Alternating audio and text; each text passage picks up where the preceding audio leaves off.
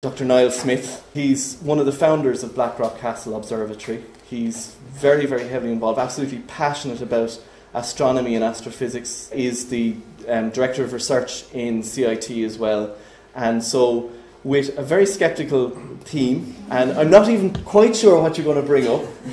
So this is taking a massive risk now. Um, I'll hand it over to you. Thanks very much. Thanks a lot. Science is something which, um, as Tom says, I personally am passionate about, and before trying my own little hand at doing a little bit of science by changing a couple of wires so I can get my computer onto the thing here and see whether that actually works or not, um, I thought I'd just mention a little story which I always like, which was um, from a physicist called Richard Feynman.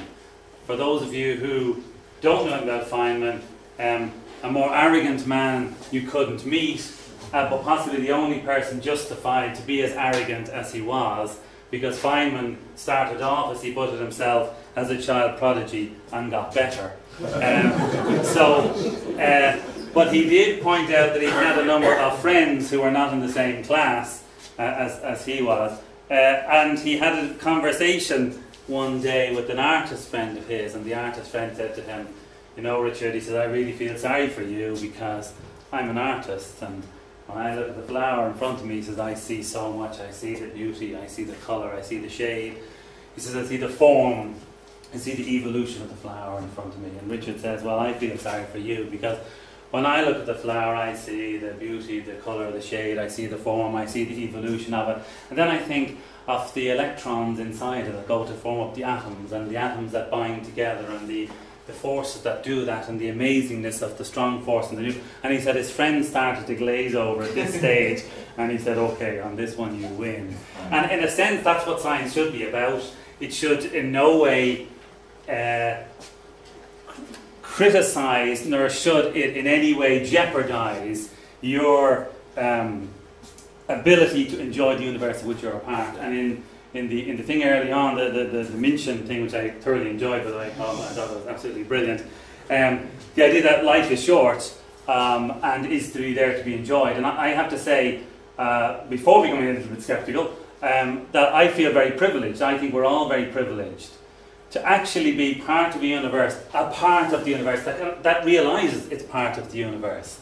I'm making the assumption that the rocks around me don't actually know they're part of the universe. Maybe they do. But it's a very special place to be, and it's also a very special time, I think, in the evolution of our species to be alive. Um, some of us are old enough to have been allowed to, to, to, to, get up to watch man walk on the moon, and yes, that really did happen. That's not the subject of my talk tonight. Uh, brief talk, incidentally.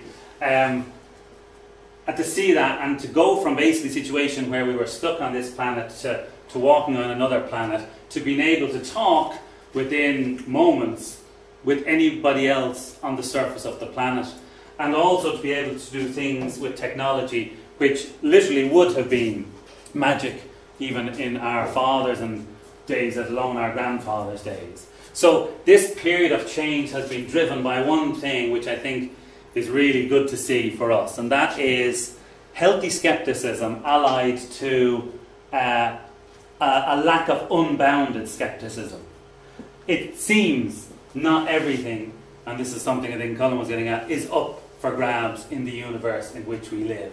For the most part, if I take this pen, I can have a fairly good prediction what's going to happen if I let it go.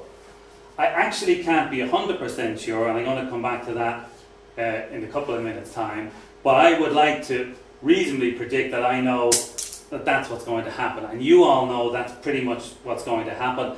But we also have the physical basis to explain why that's happened and to predict how that will happen. You use that same physical basis to predict what happens if you do it the other way. And now, if you're smart, you use that same physical basis to send men and women someday to the moon and beyond. So, understanding some things and accepting that everything isn't open to complete criticism, that the universe does appear to work by certain rules, works to your advantage and takes nothing away from who you are as an individual or your ability as a person during your life to enjoy the universe of which I say we're all privileged to be a part. So I've chosen as my topic the dragon in my garage, and you can see the dragon in the garage here in front of you, um, or not, as the case may be. And I've taken the idea of that from a book by my favourite author and scientist, uh, well, non fictional author, Carl Sagan, although he did write some fiction as well. And this particular book is called The Demon Haunted World Science as a Candle in the Dark. And it does actually have a couple of chapters on skepticism, but the, the whole balance of the book for me, I remember when I read it, I thought, oh my goodness, first of all, I, I hated Carl Sagan because he wrote so well, but you get over that. You know, you can't go around your all your life thinking I hate people who are better than me, and you should spend a lot of time being hateful. Well, well I spend a lot of time being hateful. So you say, okay, he's better than me at writing, but actually, one thing that I realised was he, he really did seem to reflect. So of course I'm going to like him, I guess, in a sense, views that I had come across by debate with my friends when I was sort of so high. We used to talk about things and wonder at things and question and all the rest. And a lot of the things that we came up with were, were not necessarily correct. But we started out early on in life with this idea of asking the question. And one thing that Carl Sagan says, and I want you to feel free to interrupt at any stage, by the way, in this presentation, uh, was that there are no, as he put it, authorities in science. There's nobody can come up and simply sort of stand on a chair and say, because I'm taller than you and I'm my name is doctor or professor or Nobel Prize winner, that I'm right and you're wrong. I may be right. I may be wrong. If you're right, then ultimately that rightness will win out over the, if you like, the humanity of which we're part. So I like that because ultimately science, it's the ultimate in socialism, if you want to put it that way. Uh, and it is the ultimate which says that we can make progress by working together. And people, while in reality, of course, and it's a bit of a sad reality, may take the credit for your idea or you know your promotion and all those sort of things that go on within society. Nevertheless, I sometimes like to think that you know when I put my head on my, my pillow at night, have I done right that day by my views or have I not? And I think science encourages you to do right by your views. Incidentally, right by your views doesn't mean to everybody else's views. Of course, you have to listen because you might be wrong. You might realize, oh, actually, no, I'm wrong. So I want to start off with this idea which Carl Sagan postulates about the dragon in my garage. Um, and, oh yes, just before that. This isn't exactly hugely skeptical, but this telephone is an amazing invention, but who would want to use one of them? now that's a little bit skeptical, and that's an American president from 1876. And you can get also other minor skepticisms, like the British Parliamentary Society set up to investigate electric lighting. Edison's electric light bulb is good enough for our transatlantic friends, but unworthy of practical or scientific men. Now you can, you can almost hear the intonation that would have been used in that sort of statement. And it sort of underlines then, if you like, the sort of the skepticism about technology and, and motion forward and where it might come from. And what's kind of nice about this is that no matter whether you're a fancy society or a very or a president of the most powerful country in the world, if you're wrong, you're wrong. So it's it's about trying to understand how most of the time we get to be right. But I'm going to just ask about before coming to the Dragon My Guys to begin with about being really skeptical because there's some things that we're kind of say, well, we should really be skeptical about when people talk about these things. And I want to question that skepticism in a minute, okay? Because otherwise, what's the point? We all just all the time agree with nothing, no fun. So, it would be reasonable to say, come on, guys, there's no such things as ghosts. There's no such things as the paranormal. Bigfoot, come on. Fairies, psychics, alien abductions. Clearly, these are all hogwash. They can't exist people who talk about them are simply mad.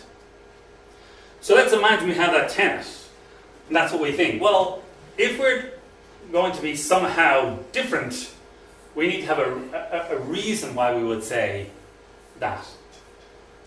But it's not quite as simple, I think, as, as it might seem. And, and I'll try to explain with a, with a simple experiment in a couple of minutes uh, something which is really interesting to me. But let me not rush too far ahead. You notice I said to me.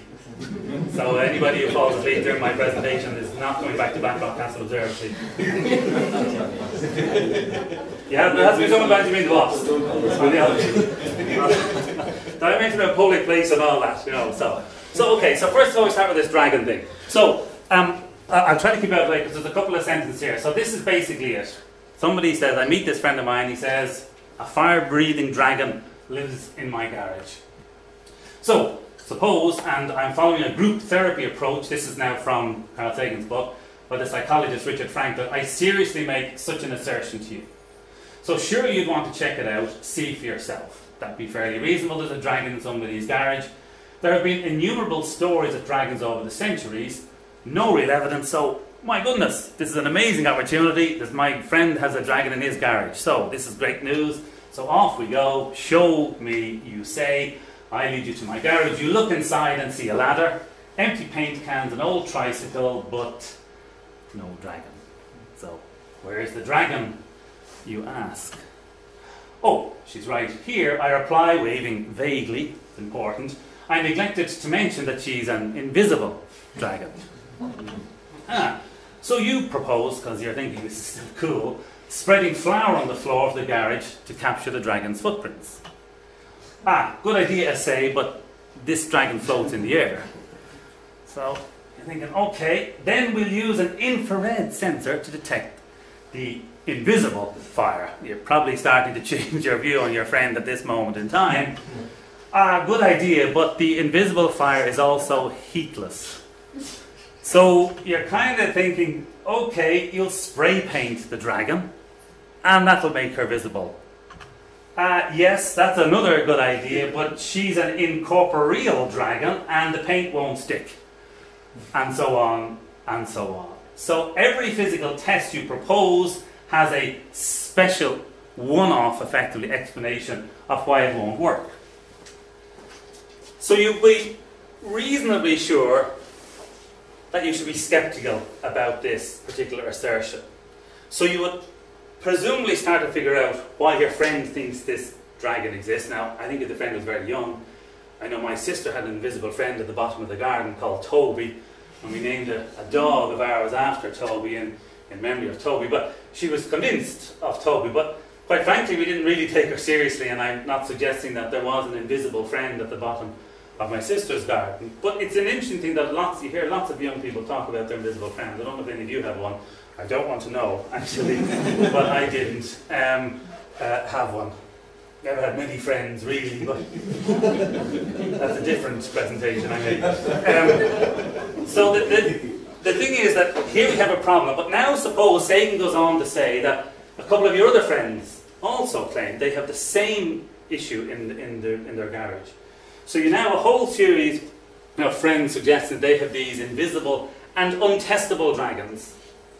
Are you then beginning to feel outside of it as somehow there's something about you that's different or something about you that is uh, disconnected from the rest of the world around you? But it's reasonable for you, no matter how you feel threatened in this instance, to suggest that there is something fundamentally wrong when there is no experiment which can verify one way or the other the reality or otherwise of this putative dragon. So let's move away then for a minute from the dragons, and because we're in Blackrock Castle, we ask what is the stars and the famous Sean from Juno and the Paycock by Sean O'Casey.